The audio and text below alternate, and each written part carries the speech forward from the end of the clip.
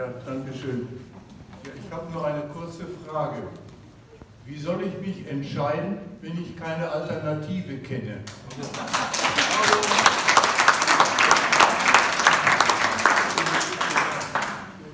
Genau. Ja, also es wird gefragt, äh, ob der Brückentorsaal im Eigentum der Stadt Rinteln saniert werden soll. Das ist die Frage, die es zu beantworten gilt. Herr Kirsch. Hoppe. Herr Hoppe, das habe ich das nicht gesehen. Ich habe gedacht, das wäre Herr Kirsch. Ja, ich habe ein paar Mehrfragen. So, zum erste ist eine Trennung der Versorgungsleitung denn grundsätzlich technisch möglich? Grundsätzlich technisch möglich ist das natürlich. Okay. Wie ist eine, wieso ist eine Sanierung eigentlich in den letzten 45 Jahren, das ist über das Doppelte von dem, was ich lebe, ausgeblieben?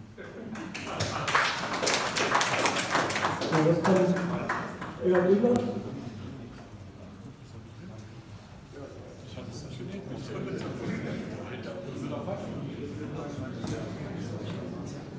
Ja, das, das kann ich natürlich auch nicht beantworten. Ich sage mal, das ist vor meiner Zeit gewesen. Ich kann Ihnen nicht sagen, warum in den letzten Jahren nicht saniert worden ist. Das letzte Mal saniert worden ist, oder die letzte Umbaumaßnahme hat stattgefunden 1988, als das Dach angehoben wurde. Da wurde auch eine neue Akustikdecke eingebaut, da wurden die Wandverkleidungen gemacht und die WC-Bereiche.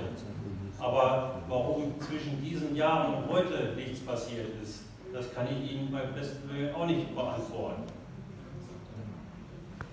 Ist das denn auch, ich wäre Ihnen dankbar, wenn Sie sich auf eine, die eine Frage stellen, vielleicht noch eine Zusatzfrage, aber wir wollen auch andere äh, Anwesende hier zu Wort kommen lassen. Ja? ja, ähm, ist es denn demnach richtig, dass eine Sanierung auch mit 5,7 Millionen plus die Unwägbarkeit günstiger als ein Neubau sind?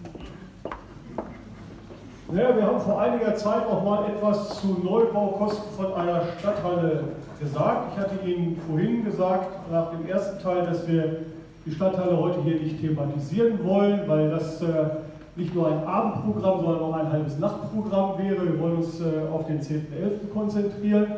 Natürlich sind da auch Zahlen genannt worden und der Stadtteilneubau hat damit geschlossen, teurer zu sein als die Sanierung, die wir heute hier vorgestellt haben. Gut, danke. Dann haben wir hier Herrn Hagebuck hier vorne, der hatte sich dann gemeldet.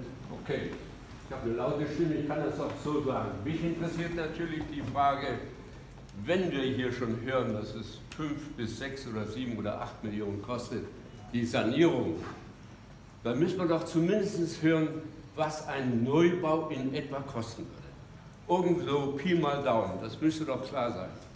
Das ist auch klar. Wir haben das ja seinerzeit auch in der öffentlichen Bauausschusssitzung geschildert. Neubau hängt äh, in Abhängigkeit von dem jeweiligen Standort liegt zwischen 8,6 und 9,3 Millionen. Danke. 10 bis 20 Millionen. So, nächste Wortmeldung. Ja, bitte. Ich finde, man kann das mit dem Neubau nicht trennen voneinander, die Beantwortung und die Bewertung.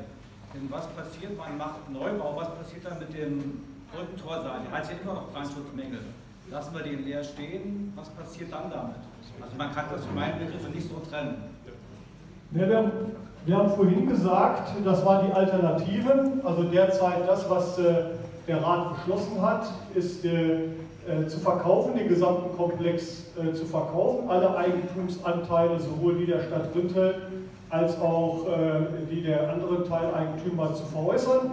Das macht man heutzutage an äh, Projektentwicklungsgesellschaften, die kaufen das aus und äh, die bauen dort etwas Neues in Absprache mit der jeweiligen Kommune, die ja die Bauleitplanung äh, durchführt und die letztendlich auch die Baugenehmigung erteilt. Ja, bitte. Wir haben ja nun verfolgt, kommt ohne Mikro aus, äh, wir haben ja nun verfolgt, wie schwierig es ist, die Eigentumsverhältnisse zu beurteilen, beziehungsweise dann die gemeinschaftlichen Anlagen auseinander zu fummeln, sage ich mal platt. Ist es denn schon mal durchdacht worden, wie es wäre, wenn die Stadt den ganzen Komplex in ihr Eigentum übernähme und alle diese Probleme nicht mehr da wären?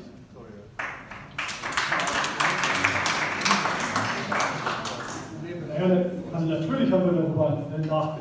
Wir haben noch kein Mandat äh, von der Politik bekommen, uns intensiv damit zu befassen, aber natürlich im Hause schon äh, diese Dinge äh, durchdacht und die sind ja auch öffentlich schon kommuniziert worden. Äh, selbst wenn wir alles erwerben, dann kommen natürlich die Sanierungskosten zunächst erstmal äh, auch in etwa dieser kalkulierten äh, Höhe zum Tragen, plus den Kaufpreis für den, die weiteren Eigentumsanteile. Dann haben Sie natürlich völlig recht, dann gehört mir alles und dann äh, muss ich natürlich auch äh, keine Teilungserklärung oder Eigentümergemeinschaften betrachten. Natürlich ist das eine Möglichkeit von mehreren.